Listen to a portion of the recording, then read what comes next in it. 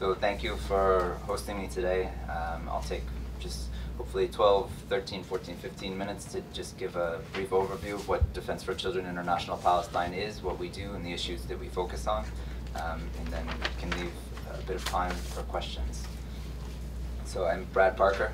Uh, I'm a U.S. trained attorney. I work with Defense for Children International Palestine. I'm based both in Ramallah and New York. Uh, DCI Palestine is affiliated with the international movement Defense for Children International. We are one of over 50 national sections as part of the DCI movement. We are completely autonomous, independent. Um, we are a local Palestinian human rights organization. Uh, I'm the only uh, international employee that DCI Palestine has. I focus specifically on UN mechanisms, uh, making sure that our human rights documentation gets into uh, different campaigns, whether it's civil society, um, local organizing in communities throughout the world uh, that are interested in Palestinian rights. So DCI Palestine started in 1991 as a legal aid organization, uh, providing legal aid to Palestinian children charged in Israeli military courts. Uh, we, we still continue that program today. Uh, it's one of the, the main programs that we have. We also have expanded to provide legal aid to Palestinian children charged in the Palestinian Authority system. Um, we, we have a monitoring and documentation unit that monitors violence against children, anything related to violence against children in armed conflict. Um, so we have documentation on Operation Cast Lead, uh, Operation Pillar of Defense, any military offensives in between, uh, on either side over the past about 13 years. Um, we monitor and document human rights violations throughout East Jerusalem, West Bank, and Gaza, uh, whether it's the, the Israeli military, uh, Israeli settlers, uh, whoever the perpetrator is. We document those cases against children uh, and seek accountability through the various mechanisms that uh, exist in order to try to do that if anybody has questions, uh, you know, about the specifics of, of that documentation, uh, I'm glad to talk with you after, answer questions about it. Today, I, would really like to just focus on the issue of uh, ill treatment and torture Palestinian children in the Israeli military detention system, because that is one of our uh, more robust issues uh, of documentation, um, and we provide legal aid to these children that are charged in the courts. so every year around 500 to 700 Palestinian kids are arrested by the Israeli army uh, in the West Bank, in East Jerusalem, charged in Israeli military courts. The military court system, uh, military law applies to all Palestinians living in the occupied territory. The, if you're an Israeli settler living in the West Bank or East Jerusalem, this law does not apply to you. So the military law, the legal framework starts out at a basis of really pure basic discrimination. Um, it's two separate law legal systems for, for two different people um, based on your identity. It doesn't matter. So military law applies to anybody 12 years uh, and older. Um, so Palestinian children, men, women, are all prosecuted in Israeli military courts. You have Israeli military law, including specific uh, security provisions, security offenses that include uh, stone throwing, uh, violence against a soldier, violence against a civilian, property damage, all the different types of things uh, that you would think would be included in a traditional criminal code, uh, with one exception. Right? Throwing stones is a specific charge under the military law. So you, you throw a stone at a military installation, something that, like the, the separation wall um, potential maximum sentence under Israeli military law is 10 years. If you throw a stone at a moving object, a car, uh, a military vehicle, a possible maximum sentence under military law is 20 years. There's some variation uh, with the sentencing when it comes to children, uh, but if you're 16 or 17, you can be sentenced as an adult. If you're 12 to 13, there's a maximum uh, sentence under military law of six months, and if you're 14 to 15, that that maximum sentence is one year. But if you commit or charged with an offense that carries a maximum sentence above five years, that one year limit disappears and you can be essentially sentenced as an adult. So within the structural process and the, the legal framework, there are huge issues that we work on to try to rectify. Um, ultimately, we demand the end to military court system, the military law system.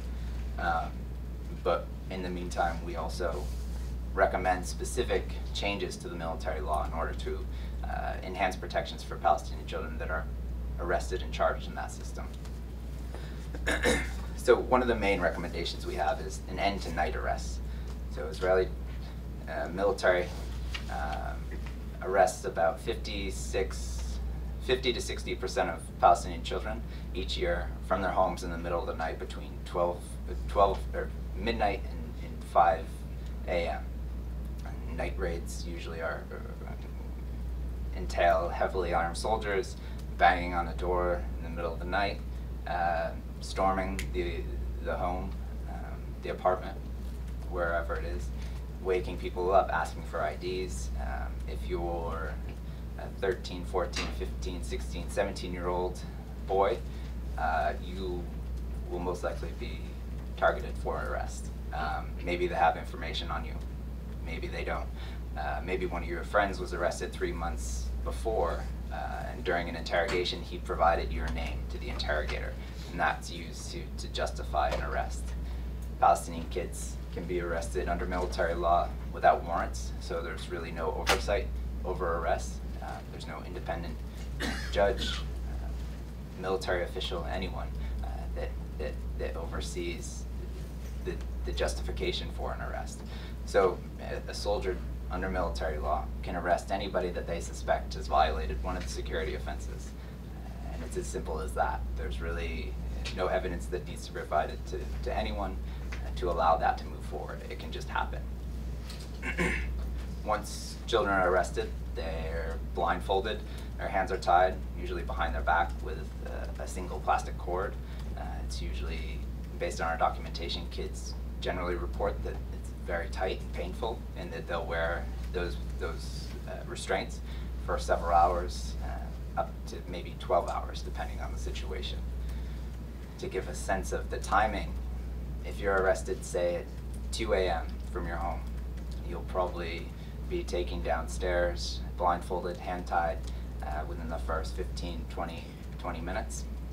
You may be forced to, to wait outside in a Jeep um, until other arrests are conducted. People are put into the Jeep with you. And during your transfer to a military camp, you might arrive at that military camp uh, an hour two hours later, so it's about 5 a.m. You're still blindfolded, your hands are still tied, and you've probably been uh, suffered some form of physical abuse during the arrest or the transfer. Uh, based on the cases that we document, uh, about 75% of kids experience some form of physical violence during the arrest, transfer, interrogation. Uh, and that ill treatment happens generally within the first 24 to 48 hours after an arrest and this is before a child's had access to counsel. Um, their parents aren't told where they're being taken. For many kids, it's the first time that they, they've been away from the home without their family, um, particularly for overnight, and they are sitting in a military camp outside, bound and blindfolded, or possibly in a West Bank uh, detention facility or police station inside of a settlement waiting for questioning. so, as I said, 24 to 48 hours after an arrest, this is where the ill treatment happens. Kids brought into an interrogation room, uh, trained military interrogator, police interrogator, not informed of the right to silence, not provided access to counsel, not informed that they could have access to counsel. Uh, they're generally scared, Sometimes they are injured, uh, bruised, bleeding. Uh, depending on the cases, there's clear documentation and evidence of torture. Generally, it's, it's hitting, kicking, punching, uh, verbal abuse, slapping. Uh, we have cases, kids being hit with uh, helmets, kids being hit with the stock of a rifle, uh, and all of that happens really during the arrest and transfer. interrogations tend to be psychologically coercive. Um, the physical violence in inter- during interrogations has, has really diminished over the past probably four or five years. Um, and what you see is, is more manipulative types of conduct. So you have shouting, you have intimidation um, on behalf of the, the interrogators, you have other children's statements being used to coerce a confession from the child that that interrogator is, is interrogating. Um, and as I said before, if you have a friend that has been arrested two, three months prior, if you, depending on the community you're from, you probably think the next time that the Israeli military comes in, uh, that you may be on their list. And if you are arrested, you're likely to be confronted with your friend's statement against you during interrogation. Communities that are most affected tend to be near the separation wall, uh, near military camps, near uh, settlements, uh, near roads used by Israeli soldiers or settlers. Really anywhere where there is a settler presence or a military presence, these are the communities that, that really bear the brunt of the arrests. Uh, in addition to the villages that have weekly protests. Um, they're really, based on our information, our documentation, you, you do see specific communities targeted, um, and within those communities you see adolescent boys as the targets, um, as both of a tool of the occupation, um, but also as an intelligence gathering mechanism uh, as part of the occupation. So what we do, we provide legal aid to the children uh, that that are um, charged in the military courts. We provide legal aid to probably uh, between 25 and 35 percent of the total cases each year. Uh, and really, there's not much you can do as an attorney in the Israeli military court system. Uh, you're working with generally coerced confessions that aren't excluded. You're working with statements from soldiers that are rarely excluded by a military court judge.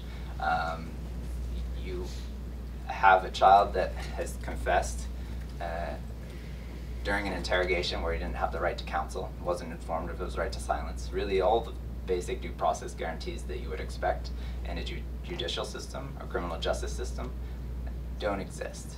Uh, and the military court system isn't a justice system. Right? It's it's part of an occupation. It's part of a framework that controls a particular piece of the occupation or the, the population. So um, you don't have really any grounds to challenge much of the evidence that's presented there. So what we have found is that a child rights organization, we are the only Palestinian child rights organization uh, that, uh, they're the only local Palestinian human rights organization that focuses specifically on children's rights. So there's other organizations that do provide legal aid in the military courts, but we are the only one that provide it specifically for children. And so what we notice is that the kids that we represent, they plead guilty because it's the fastest way to get them out of that system, whether they've done something or not, uh, where information and evidence isn't excluded it's really the only system, uh, the only way to get the child out of the system. And with those plea agreements, we noticed that as an organization that specifically focuses on children, we've dramatically reduced the, the time that children serve uh, as part of their sentence or as their plea agreement compared to other, um, whether it's private attorneys or organizations that focus specifically on, on, uh, on the general people charged in the military courts. Um, and what we find that works the best is our focus on children, uh, but also highlighting the, the really basic issues that exist within the military court system. Right? The, the military court system isn't broken. It's not an issue of capacity. Uh, it's working exactly the way it's intended to work.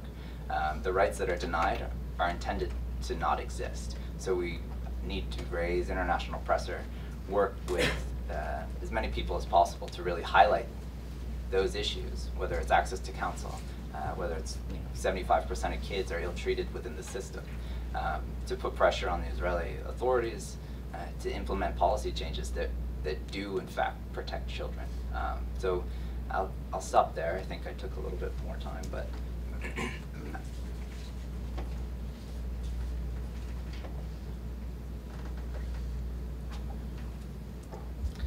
So thank you for this very compelling and comprehensive presentation. Also, saddened I'm warning to say the truth because when your feet come stick down to reality, you realize there are people who are extremely unfortunate. We now will have five minutes for any questions you may have. So whoever would like to take the floor, just raise your hand and we can take the questions together. Uh, Thank you for convening this meeting, Mr. Chair, and I wish to thank you for your briefing on behalf of uh, Defense for Children International Palestine. I am speaking on behalf of the state of Palestine. Uh, As uh, Bernard said, your, your briefing is, was very compelling and, and revealing as to the extent of the, the difficulties uh, and the trauma that is faced by Palestinian children in, under this situation of occupation and the practices that they have to endure from uh, the moment that they are apprehended in the middle of the night or in any other situation throughout the interrogation and detention period. Um, so I wanted to ask just a few questions uh, in that connection. Um, the first is how does Defense for Children International receive information about children that are detained by, by the Israeli occupying forces in order to begin your advocacy for each specific child and in order to provide the necessary support to parents? I mean, is there a process or is this um, community, the communities have a, connection and inform you and, and what is the time frame? Um, my second question is in, in your monitoring of the, these situations of detention, does Defense for Children International have actual access to the child, prisoners and detainees? And do you also provide, um, aside from just legal advocacy, psychosocial support for these children? Or are you partnering with other NGOs to do that? Because I know, for example, that World Vision has begun a program where they are trying to provide support to Palestinian child detainees. So is there sort of a division of, of labor in that regard? And then my last question is, in the case of a guilty plea by a child, which you mentioned is the most common outcome in these situations in order to, to get them out of detention as soon as possible. Um, what happens in terms of a so-called imprisonment record for the child with the occupation? with, with the occupying power? And have you found that there is repeated detention and interrogation of these same children? Do they become part of this detention and imprisonment system? Thank you. Okay, so thank you for your questions. They're great questions because it gives me an opportunity to highlight things that, that I left out of the, the short briefing. Um, so how do we receive our info and our documentation? We have lawyers that work in both military courts. So there's a, a court uh, near Ramallah and there's a court in the north outside of Jenin. And we have attorneys that work there and they've worked there for, for many years and they're DCI Palestine staff. so when children are brought in, so a child's arrested, um, he essentially disappears for 24 or 48 hours until he, he appears in a military court. Uh, our attorneys are there. Um, they have good relationships with, with the judges and, uh, and the military prosecutors and, and other defense counsel. Um, and so when a child's brought in, it, it, there's more of an informal kind of referral process. Um, if, if our DCI attorney isn't in the courtroom at that time, um, he'll be contacted by someone usually within that network to, to provide representation or to come to the court. Um, but generally, most of our cases come because our attorneys work in the courts. They're there when children are brought in, um, and they represent them from that time and that initial hearing, and then um, they're in touch with their families to see if that representation will continue based on what the family desires. So that's that's the you know, where we get our cases, that's the, the primary way. There's also community networks. Um, we've, we have a network of, uh, I think, about 15 field workers that work throughout the West Bank. They are members of their own communities, so when an arrest happens, a night raid happens, uh, people know that that person works for Defense for Children International Palestine, that we have attorneys that represent kids in the military courts, and in that word of mouth type uh, process also brings in cases for us.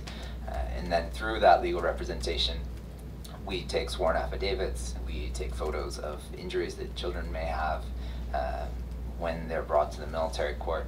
We do prison visits and we do have access to the kids when they are being detained. Um, and, and that's generally the process of how we collect the documentation, how we collect the affidavits, how I know uh, that we, you know, 75% of these kids encounter some form of physical violence uh, during their arrest transfer. Uh, regarding psychosocial and other types of um, referral mechanisms. We work closely with the YMCA uh, rehabilitation program that operates uh, throughout throughout the West Bank to a limited degree, um, and also in East Jerusalem. We we work with uh, communities. We also we have a community mobilization program that works in particular communities that are most affected by uh, whether it's school violence, settler violence, uh, arrests, whatever the issue might be, child labor, child exploitation, um, and work with local organizations there to, to really both build their capacity to, to understand children's rights, but also to, to make connections for people uh, for the particular issues that their children might need, whether it's psychosocial support after an arrest um, or uh, other issues related to trauma that they face um, whether it's during an arrest or, or some type of other violence that, that's happened in their life. So with guilty pleas, uh, they, so internationally, there's an understanding that 18 is the age of majority. Um, you know, you commit a crime when you're 16, 17, you may have the ability to have that record expunged so that when you turn 18, uh, you kind of start free. Uh, that does not happen. If you are a 17 year old, 16 year old Palestinian boy, uh, you are charged in a military court, you uh, come to a plea agreement that's accepted uh, by the military prosecutor and the judge, really that, that stays with you. Um, that's, it impacts your freedom of movement, impacts a lot of other issues moving forward um, as you go on with your life. We do have cases of kids, you know, particularly in, in different villages that have weekly protests uh, that, that are impacted by settler attacks uh, quite regularly, where repeated arrests do happen, um, repeated abuse does happen. Um, it's very, the arrests, the violence, it's, it's very local. I think based on our documentation, if you look at the West Bank, um, you see specific areas where things happen all the time and other areas where it doesn't. So in Ramallah, there's not many kids being arrested. Uh, but if you go to Azun, um, if you go to some of the smaller villages around Nablus, uh, where you have an, a, a, high Israeli settler presence, uh, you have specific communities that are targeted, and, and this happens on a regular basis, uh, maybe a weekly basis. Um, and some of those same kids are arrested uh, so, uh, a few times. Um, so it's a problem. It's very much, from what we see, uh, targeting, and it, it, it, the only way to stop it is really to improve protections in the military court, improve a process uh, with arrests, and ultimately dismantle the military law system and the military court system so that uh, children can't just be taken out of their homes, disappeared essentially, uh, and run through a military process, a military law process that provides really zero protections.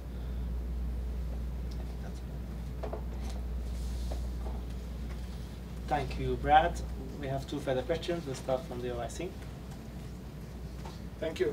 Thank you for this very good presentation. And I have just a question about if you um, provide any legal uh, uh services to uh, uh, those kids after they're being released what prompted me to, uh, to ask this question. I remember when I was arrested several decades ago when I was a kid, and I was sentenced to 30 months. Uh, my peers who were, who were with me at the same time were sentenced to 24 months. And when the, uh, my lawyer wanted to argue with the judge, he's just a kid, he just told him, because he's a kid, he will get six more months to get a harsh lesson in his life. After being released, I went to high school and got an acceptance at American University. And when I attempted to leave the country, I was not able. So I went to the commander, the military commander. Uh, the sentence that he told me that you are not able to travel outside the country because you had a mission to liberate Palestine. When you finish your mission, you can leave and study outside the country. Uh, you, at that time, we did not have any legal assistance from any uh, kind of organization that could help us uh, get the, the, the, possibility to, uh, to remove the punishment after being arrested. Do, do you provide such legal assistance to, to those people? So we work, we work uh, primarily on appeals, right? So a child, uh, if you're sentenced to 30 months, 24 months, um, try to have that reduced in some way. Um, if it's a plea agreement, we usually delay agreeing to it until we can try to have it reduced as much as possible.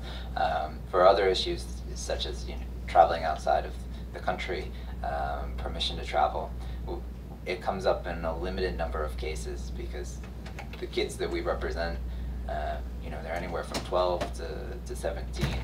Um, some of them may not have the ability to to go to school somewhere else. The the family doesn't have the resources. They don't have the scholarship. It, it just it's not.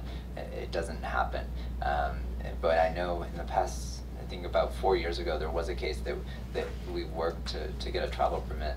Um, I can't remember. I know it comes up with cases in Gaza every once in a while, but not in the detention context, just in the medical context.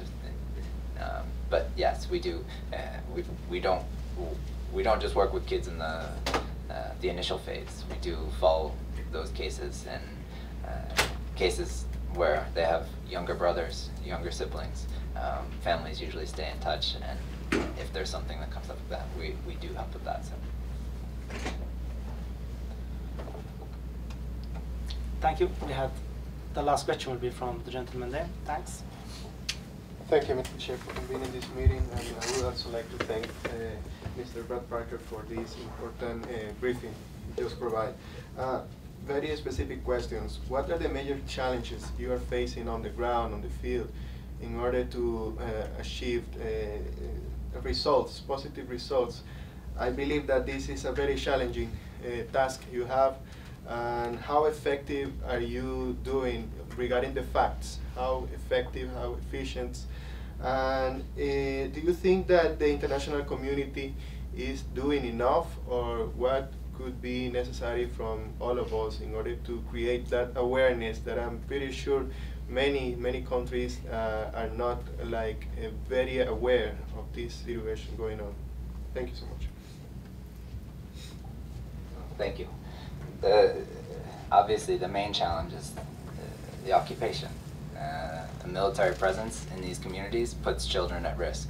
Um, when children have to go through checkpoints, when they have to walk past military jeeps and soldiers to go to school, um, when soldiers fire tear gas at groups of kids walking to school, uh, that's the context that these kids live in. Um, there's a specific community, Beit Umar, uh, in Hebron, that uh, it's located next to a military camp. It's located next to a settlement kids have to, their village is closed off, has a military tower on the one main entrance to the village. Uh, when they go out, there's a camera watching them, uh, there's soldiers watching them. They pass through soldiers' checkpoints regularly. Uh, this is one of the communities where uh, arrest and ill treatment of kids is, is, is extremely high. Uh, you have kids being arrested multiple times. Um, so the challenge is the occupation. I mean, it's the policies of uh, policing specific communities, and it's the presence of soldiers and settlers near Palestinian communities. I think, you know, we, despite the the fact that ill treatment continues to be widespread and systematic. We have made progress on certain key issues that uh, hopefully are the starting point to, to having actual changes uh, that affect the practical situation for kids living in the occupied Palestinian territory. So the age of majority used to be 16. It's now in military law raised to 18. Uh, but you know we welcome that. It's a, a good change. But you still have 16 and 17 year olds allowed to be sentenced as an adult. Um, the pretrial detention phase before a, a 16 or 17 year old has to be brought for, before a military judge is the same as adults. Um, so even though we have that one change, there's still other changes that uh, didn't weren't affected because of that. Um, we one of our main issues is night arrest. Right? If you don't have uh, soldiers arresting children from their homes in the middle of the night, putting them in a jeep, blindfolding them, tying their hands behind their back, uh, if you don't put kids in that situation, you'll probably see that ill treatment will, will be reduced. Uh, you won't have three out of four kids being ill treated.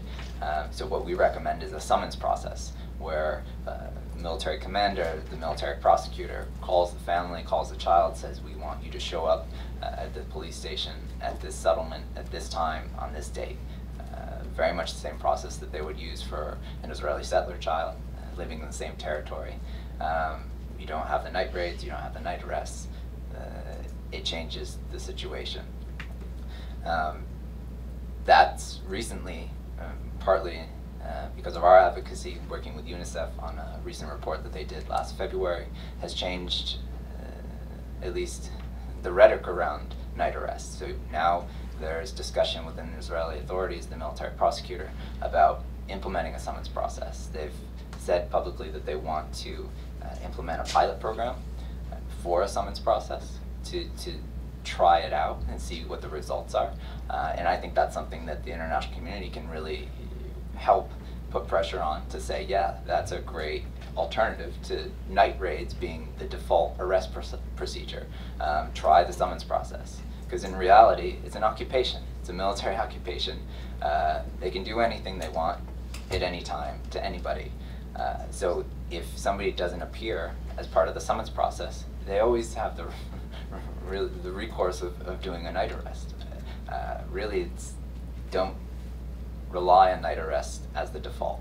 Ultimately, we want no night arrest, no military presence, but uh, this is this is kind of the incremental steps that we think can really make a difference, uh, and hopefully it's moving in that direction. But I think we need, you know, needs to be more than me, more than DCI, more than UNICEF. Uh, we need member states uh, to to really push this forward. And there's other examples too, but I'll just to be brief. So thank you, Brad, once again for sharing this morning with us. We commend, as a working group, the very good work that Defense for Children International is doing. And obviously, we all look forward to the day that all children are treated equally, and which would make this world a really a better place. We thank you once again for joining us.